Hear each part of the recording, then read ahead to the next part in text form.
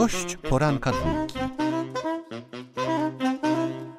Tadeusz Łysiak przyszedł y, wypić razem z nami i z Państwem poranną wtorkową kawę. Dzień dobry. Dzień dobry panu, dzień dobry państwu. Reżyser filmowy, nominowany za film Sukienka do Oscara, członek Amerykańskiej Akademii Filmu i Wiedzy. Chyba taka jest pełna nazwa? O, jakoś tak, mniej więcej. No jeszcze?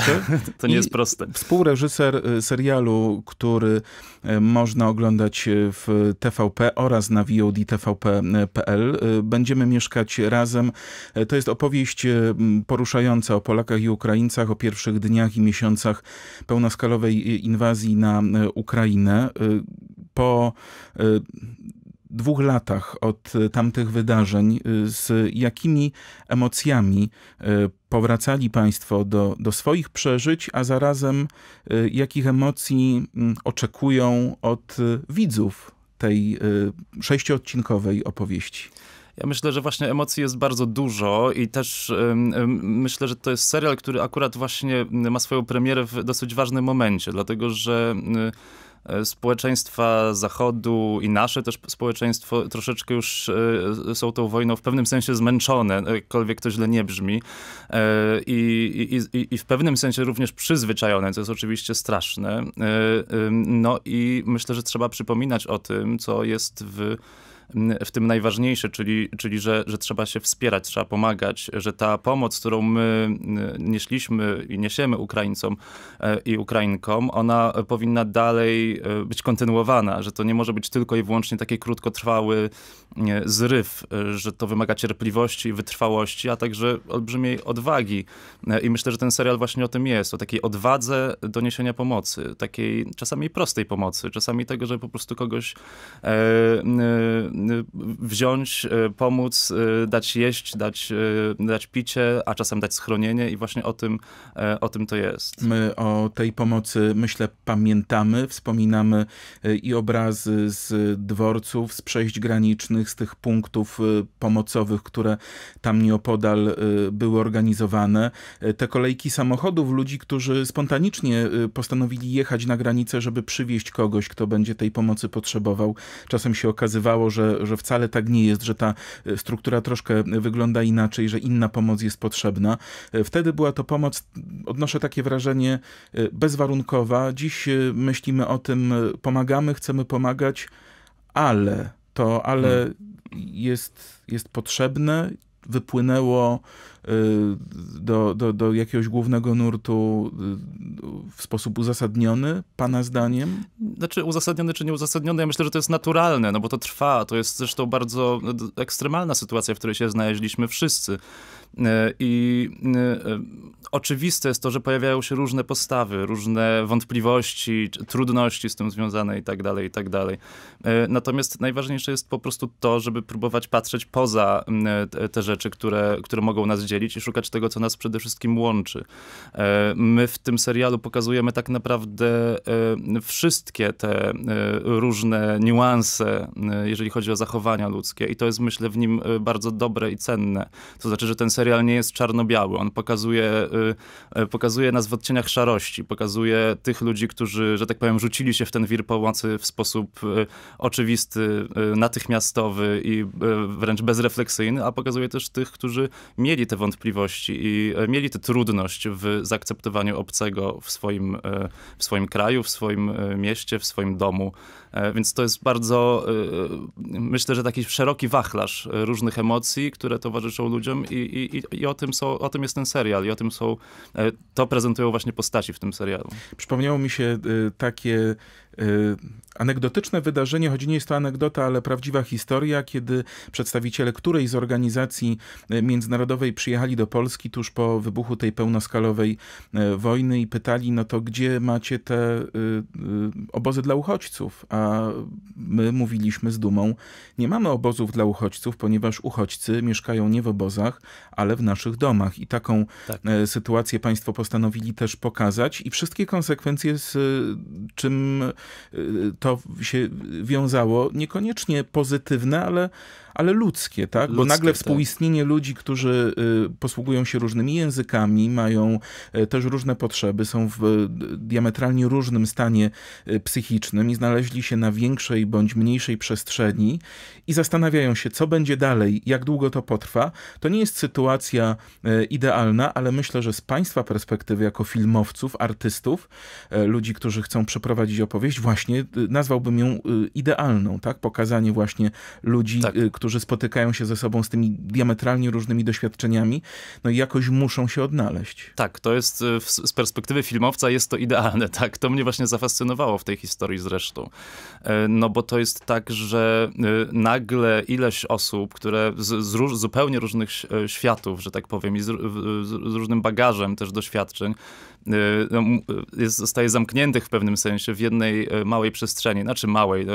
Bohaterka grana przez Aleksandrę Konieczną ma bardzo duży wręcz pałacyk na Mazurach, taką, nazwijmy to królową tego pałacyku, no ale, ale, ale faktycznie się znajdują nagle ze sobą i nagle muszą właśnie zamieszkać razem i co z tego wynika, to jest bardzo interesujące. Z tego też wynika trochę ton tego serialu, bo co jest ciekawe jest to Y, nazywamy to czasami komediodramatem. Y, ja bym to może bardziej nazwał dramatokomedią, no bo więcej chyba tych elementów jest y, poważnych i takich dramatycznych w tym serialu, ale jest też ten ton komediowy, który zresztą notabene przyszedł z, od nas z Ukrainy, od ukraińskiej pisarki, która, która napisała pierwszy draft jakby tego serialu która o kogo chciał... chodzi, powiedzmy? Nie, niestety teraz sobie nie przypomnę nazwiska, bo ono jest dosyć skomplikowane dla mnie, ale, ale chętnie sprawdzę potem i jakoś będę mógł, będę mógł powiedzieć. się, tak. E, tak, natomiast, natomiast faktycznie ten, e, ten ton e, taki lekko lżejszy, nazwijmy to, jest E, jest w tym bardzo interesujący. To, że, że to jest taka mieszanka różnych emocji. E, I właśnie to się wiąże z tym zamknięciem w tej, w tej przestrzeni, zamknięciem,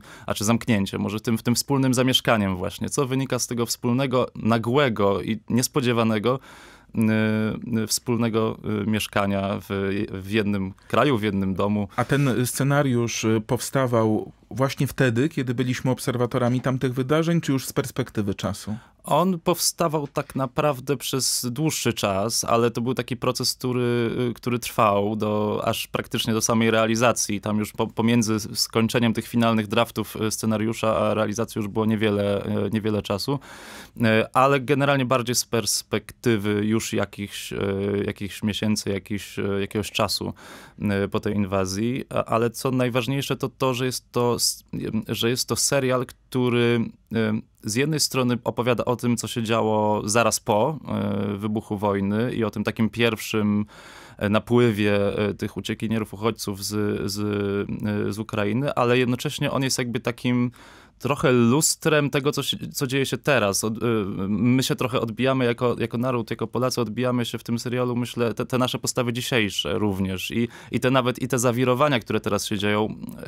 Mi się wydaje, że to jest ważny serial po prostu, który, y, który naprawdę może nam trochę przypomnieć o tym, dlaczego my w ogóle y, tę pomoc Ukrainie nie szliśmy Ukraińcom i Ukrainkom. I też trochę skonfrontować nas z pewnymi założeniami, które dla nas wtedy w 2022 roku były e, abstrakcyjne. Znaczy, e, z jednej strony oczywiste, ale z drugiej abstrakcyjne, bo kiedy y, pojawiały się pierwsze teksty analizujące to, że w wyniku tej pełnoskalowej inwazji zmieni się y, struktura polskiego społeczeństwa, mhm. to nie wiem, czy mieliśmy wyobrażenie, z czym no to tak. się może wiązać, no prawda? Tak. Teraz oczywiście sprawa, czy ukraińskiego zboża, czy pojawiające się e, takie teksty analizujące na przykład to, e, czy e, Ukraińcy jako mniejszość będą z czasem nabywać prawa wyborcze, mieć swoją reprezentację w organach władzy ustawodawczej, prawda? No to są dyskusje ostatnich dni czy tygodni. Z drugiej strony cały czas ciąży na nas to przekonanie, że ta pomoc wymagająca wielkiej determinacji udzielana przez Stany Zjednoczone, przez przez Unię Europejską nie może y, mm, opaść, nie może mhm. być osłabiana, ponieważ dla nas to jest cały czas to poczucie bezpośredniego zagrożenia. Ta, ta, ta nasza trauma na szczęście pośrednia gdzieś też jest obecna. Od, odczuwam to, kiedy rozmawiam z, z ludźmi, którzy jakoś do tej sytuacji niepewności, w której i my się znaleźliśmy, znajdują się od ponad dwóch lat. Tak, absolutnie. No, zgadzam się ze wszystkim, co, co, co pan powiedział. Oczywiście to jest, to jest taka sytuacja, która jest bardzo skomplikowana i, i nie tylko społecznie, nie tylko jeżeli chodzi o nasze serca i umysły, ale również politycznie. E, no to już widzimy teraz e, tak, co się dzieje. To, co wydawało się w pewnym sensie oczywiste, ta, ta pomoc e, finansowa, militarna, etc., etc., nagle staje się pewną komplikacją, staje się pewną, pewnym elementem jakiejś gry politycznej i, i, i to nie tylko u nas w Europie, ale i w Stanach Zjednoczonych, co jest, wydaje mi się, najsmutniejsze, najbardziej przerażające, tak? Nie wiadomo, co przyniesie przyszłość, więc myślę, że naszym obowiązkiem jako Polaków właśnie, jako osób, które, narodu, który jest obok, który doświadcza tego niejako y, prawie, że na własnej skórze, w sensie tej pomocy takiej bezpośredniej. E, A zarazem swojej e, historii miał wielokrotnie A poza niestety tym, tak takie momenty czy okresy, lata zaborów, pierwsza, druga wojna światowa. No, wiemy, do czego Rosja jest zdolna, tak, absolutnie. No i, no i teraz jakby myślę, że naszym obowiązkiem jest po prostu głośno mówić, a przynajmniej ci, którzy nie mogą inaczej pomóc, żeby w ten sposób y, tę pomoc, tę pomoc nieśli. No i ja na przykład i wspólnie z Anką Maliszewską, która jest notabene reżyserką formatującą tego serialu, taką główną nazwijmy to, ona zrobiła cztery odcinki, ja dwa, odcinków jest łącznie sześć. Mm. E, wspólnie chcieliśmy i z całą ekipą e, naszą tego serialu po prostu ten głos podnieść i w ten sposób jakoś przyczynić się do tej pomocy, po prostu żebyśmy nie zapomnieli. Są mechanizmy, są y, y, interesy mocarstw, y, interesy poszczególnych krajów, ale w tym wszystkim są ludzie i to jest właśnie opowieść o ludziach. Aleksandra Konieczna, Artur Dziurman, Bronisław Wrocławski, Lena Górska, Mikołaj Roznerski. Lena Góra. O, Lena Góra, Oksana Czerkaszyna, Peter Poźniak i Zlata Kardasz w obsadzie. E, serial e, będzie prezentowany, e, proszę przypomnieć, kiedy na antenie? W, tak, w telewizji polskiej w piątek o 20.35 i każdy... W którym programie? Ojej, nie pamiętam, trzeba sobie sprawdzić jedynce albo w dwójce, nie, przepraszam, nie pamiętam. Natomiast... Ale także przedpremierowo w, na VOD. Na TVP. VOD, na TVP VOD. No i co tydzień kolejny odcinek, odcinków jest sześć. Ja zrobiłem dwa ostatnie, ale zapraszam do obejrzenia oczywiście całego serialu. I, I, myślę, że to po prostu będzie coś, co, co może się spodobać, co będzie e, trochę bawiło, trochę wzbudzało refleksji, trochę przerażało czasami, szczególnie w moich odcinkach. A y, y, zmieniając nieco temat, y, y pan już zagłosował, mógł zagłosować na y, y, filmy i artystów, którzy są nominowani do tegorocznych Oscarów? Jako tak, członek ja, Akademii? Jako członek Akademii mogę głosować, tak. I no, no, tak, mogę głosować, ale tego nie zrobiłem, bo nie miałem po prostu teraz czasu. E, przepraszam, nie rozumiem. Trochę się czuję skonfundowany, ponieważ wydaje mi się, że w momencie, kiedy y, y, otrzymuje się ten angaż, to byłaby to pierwsza rzecz, którą bym umieścił na liście zadań najważniejszych do wykonania. No widzi pan, no i świat jest właśnie czasami taki dziwny, ale... Wszystko zależy od punktu siedzenia, tak? Tak, tak. nie, no to oczywiście to jest wielki, wielki honor y, i, i duma i... i jakby... Ale to znaczy, że przepadły pana głosy, czy jeszcze jeszcze pan może. Do, nie, nie, no będę mógł jeszcze Dobrze. głosować. Tak, to, to naprawię ten błąd y, oczywiście y, i, i na, na zwycięzców będę mógł y, głosować, że tak powiem. Na zwycięzców? Tak, tak bo teraz po prostu nie głosowałem w tym, na tym etapie nominacji, że tak Aha, powiem. Czyli rozumiem, dobrze. Pomyślałem, że już są, że pan będzie wybierał tylko zwycięskie tak, ja filmy tylko... i osoby. Choć możemy się pewnych, ten, po pewnych tendencjach domyślać, kto ma największe szanse. Proszę zdradzić, tak. jak takie głosowanie wygląda? Państwo otrzymują jako członkowie Akademii dostęp do wszystkich tych filmów, które są nominowane i w tych wszystkich kategoriach?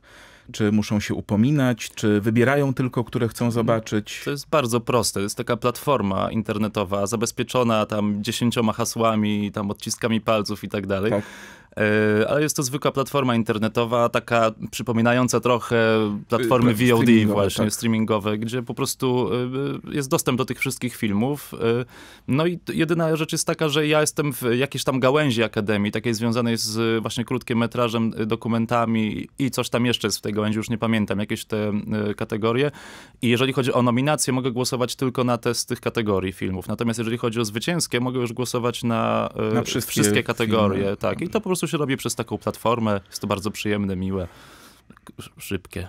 I to będzie pana drugie głosowanie, czy drugie, pierwsze? Drugie. Drugie. I w tak. ubiegłym roku pan rzetelnie obejrzał te, te wszystkie filmy, które, na których panu zależało, czy musiał z konieczności wybrać albo dowiadywać trzeba się? Trzeba obejrzeć. Znaczy przy, na pewnych etapach trzeba tak. obejrzeć. Czyli to jest Więc... też y, taka ambitna, y, ciężka y, no praca no właśnie, w gronie tak. ilu tysięcy osób już? Bo tam jest mnóstwo... Łącznie w Akademii jest chyba około 9 tysięcy. Tak, tak mi się wydaje. I w tym coraz więcej polskich reprezentantów, co nas ogromnie cieszy. A skoro mówiliśmy o kwestii internetu, streamingu, to też słowo komentarza wobec tantiemowego sztabu kryzysowego i tej próbie przekonania decydentów, że e, należy e, czym prędzej e, znowelizować przepisy, wprowadzić dyrektywę i zapewnić twórcom filmów tantiemy z eksploatacji ich dzieł w internecie? Cieszę się, że pan o tym mówi, bo to jest to, co się dzieje, to jest skandal. To znaczy, to my jesteśmy absolutnie oburzeni jako całe środowisko filmowe, nie, jakby trochę nie, nie, rozumiejąc, co tak naprawdę się dzieje. Czy tam, jest, czy tam są jakieś rozgrywki polityczne, o których my nie wiemy, jakieś zakulisowe, których my jesteśmy ofiarami. Nie jesteśmy w stanie pojąć, dlaczego coś, co powinno być normalne i jest normalne w całej Europie i na świecie, E, co jest w pewnym sensie no, prawem e, twórców od, od już od jakiegoś czasu. E, w Polsce, jako chyba jednym z niewielu, o ile nie jedynym kraju w Europie, te, te, tego po prostu nie ma. My jako twórcy, kiedy telewizja i kino zaczynają coraz być, że tak powiem, mniejszym tym, mniejszą platformą, na której ludzie oglądają rzeczy, przede wszystkim ogląda się już na platformach właśnie streamingowych. My z, z tego tytułu nie dostajemy należnej nam, e, że tak powiem, zapłaty za naszą pracę, co jest, jest normalne, za nasze prawa autorskie, za to, że my e, coś tak. stworzyliśmy. Po prostu dostajemy zero. Jest to pewnego rodzaju wyzysk i sytuacja zupełnie nienormalna, a my mieliśmy taką, takie, takie, taką nadzieję, że być może to była kwestia trochę związana, nie wiem, z tym, że akurat tamten rząd w taki sposób nie chciał do tego podchodzić, bo nie wiem, byli do, z kimś dogadani. Bo odwiedził Polskę A... Reed Hastings, ówczesny szef, szef Netflixa, Netflixa ale tak. wejdę, bo A mamy mało okazuje, czasu. to samo. E, mówi pan e, wyzysk, ale ja się zastanawiam, czy w takim razie, e, nie wiem, jest jakaś propozycja zbojkotowania platform streamingowych, przynajmniej na jakiś czas, bo przecież Państwo jako filmowcy protestują, ale przez lata trochę karmili tego potwora, podpisywali umowy, tworzyli seriale, wiedząc, że nie będzie z tego tantiem, bo takie istnie, istniało wtedy i funkcjonuje prawo. Tak, tylko chodzi o to, że to jest sytuacja, która zmienia się bardzo płynnie i tak naprawdę mm, bardzo żywiołowo i szybko. I, no i teraz jakby y, to coś, co jeszcze parę lat temu nie wydawało się aż takim zagrożeniem, chociaż i tak już wtedy takie głosy były podnoszone. Oczywiście to nie jest tak, że to jest coś, co nagle gdzieś, z, jak Filip z Konopi wyskoczy, wyskoczył te, y, te żądania i, te, y, i, i, ten głos nasz. Ale, ale coś, co jeszcze jakiś czas temu nie wydawało się aż takim zagrożeniem, nagle się okazuje po prostu naszą rzeczywistością. To, że, to, że ludzie już zupełnie przestają y, chodzić do kina czy oglądać filmy w ten sposób, a zaczynają naprawdę przede wszystkim i głównie oglądać je na platformach streamingowych. Chociaż to tu słowo odrębne, podobno ta frekwencja w kinach wraca do poziomu sprzed pandemii i też rosną ceny biletów no do, do kina Y, tak. ale y, to w takim razie pan byłby za przynajmniej tymczasowym bojkotem platform streamingowych? Nie wiem, czy byłbym za bojkotem, bo... Y, Takim tak protestem tak powiem, na miarę na pewno, Hollywood? Na pewno, no być może, być może trzeba to zrobić. Ja nie wiem, ja na razie jestem trochę też zagubiony w tym wszystkim. Wiem jedno, wiem, że żyjemy, że my funkcjonujemy jako filmowcy w Polsce w sytuacji nienaturalnej, w sytuacji, która jest po prostu wyjątkowo niesprawiedliwa. E, jakie trzeba będzie podjąć działania, żeby może tę sprawiedliwość uzyskać? Nie wiem. Jeżeli trzeba będzie bojkotować, to ja z chęcią e, się do takiego bojkotu przyłączę, ale mam nadzieję, że mam nadzieję, że takie że tak kroki powiem, nie będą potrzebne. Takie kroki nie będą potrzebne. E, Tadeusz Łysiak, reżyser między innymi nominowanej do Oscara Sukienki, a także współreżyser serialu Będziemy mieszkać razem, gość poranka dwójki. Bardzo dziękuję. Dziękuję. Dziękuję bardzo. Gość poranka dwójki.